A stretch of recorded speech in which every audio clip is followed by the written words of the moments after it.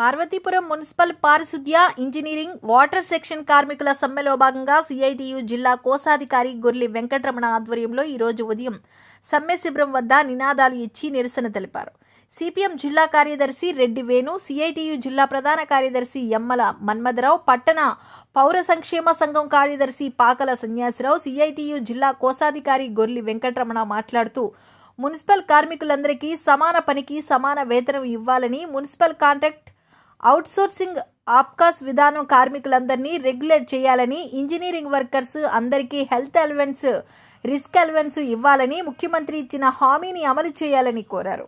ఈ కార్యక్రమంలో చీపురుపల్లి సింహాచలం పడాల గాంధీ మామిడి శివ బంగారు రాజేషు గుట్టేండి గంగయ్యలు తాడి వినయ్ వంగపండు అప్పలనాయుడు మేడిశెట్టి కృష్ణ అరసాడ తాతబాబు నాగవంశం మల్లేసు బంగారు రవి నిర్మల ఇప్పలమ్మ పాపులమ్మ పడాల సంతు వెంకన్న సాయి రవి సత్యరాజు మరియు అధిక సంఖ్యలో కార్మికులు పాల్గొన్నారు.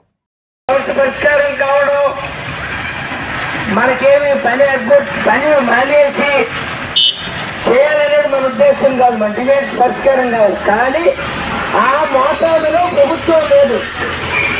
మనం ఆరు నెలల కింద చేయాల్సిన సమ్మెను వాయిదా వేసుకున్నాం వాళ్ళు గతంలో మనం సమ్మె నోటీస్ ఇస్తే అలాగే మన ఇంజనీరింగ్ కాలేజ్ ఇంజనీరింగ్ కార్మికులకి జీతాలు పెంచుతాం.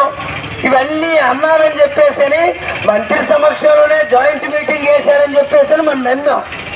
నమ్మితే వాళ్ళు నమ్మక ద్రోహం చేశారు. నమ్మకం ద్రోహం చేశారు సమ్మెలోకి దిగాం. సమ్మెలోకి దిగితే ఏమంటున్నారు? అంటున్నారు ఇంజనీరింగ్ కార్మికులు మన మున్సిపల్ కార్మికుల దగ్గరకు వచ్చి వాళ్ళు సమ్మెలో దించేశారు వీళ్ళు ఒక్కరి దగ్గర పరిష్కరించేద్దామని చెప్పేసి నేను దగ్గర చెప్తున్నా. ఆ సర్వశిక్ష